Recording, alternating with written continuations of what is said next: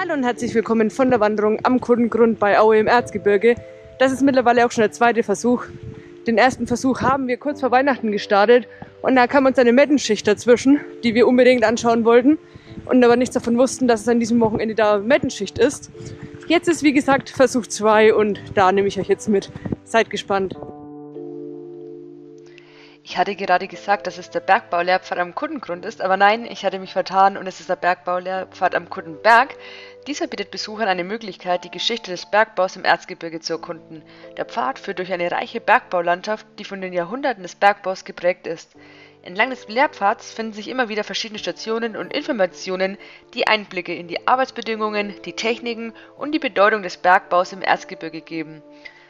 Besucher können Relikte wie Stolleneingänge, Abraumhalden oder andere historische Überreste entdecken. Der Lehrpfad veranschaulicht die harte Arbeit der Bergleute, ihre Werkzeuge und die Technologien, die sie nutzten. Wanderer und Wanderinnen haben die Möglichkeit, die Natur zu genießen und gleichzeitig mehr über die Vergangenheit des Bergbaus im Erzgebirge zu erfahren. Insgesamt bietet der Bergbaulehrpfad am Kuddenberg eine spannende Möglichkeit, die Geschichte des Bergbaus im Erzgebirge zu entdecken, während man durch landschaftlich reizvolle Umgebung wandert.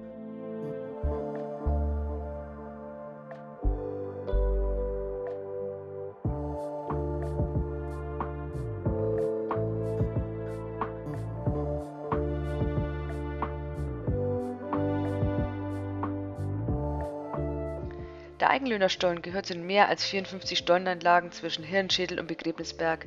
1538 wird er erstmals erwähnt, ebenso die Flurbezeichnung Kotten. Der Eigenlöhner Stollen ist 53 Meter lang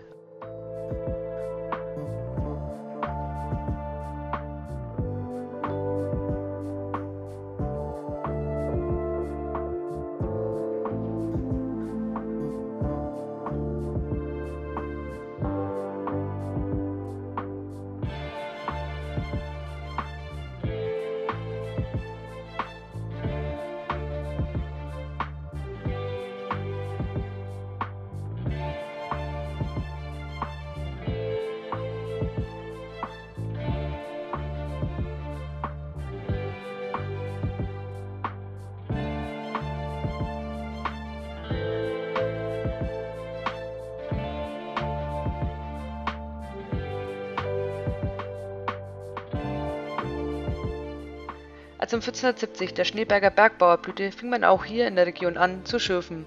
Nach den damaligen Abbaumethoden verfolgte man die Erzadern über Tage in Form von Mutlöchern und Haspelschichten. Erst danach begann der Abbau untertägig.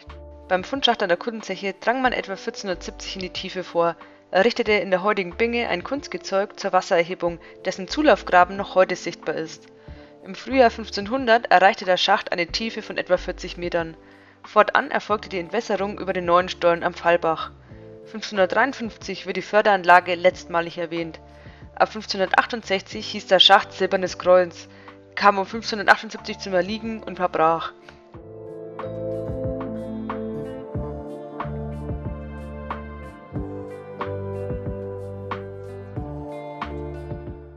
Wir sind nun am Bernhardstollen. Bis Ende 1855 brachte man den Stollen auf eine Länge von 188 Metern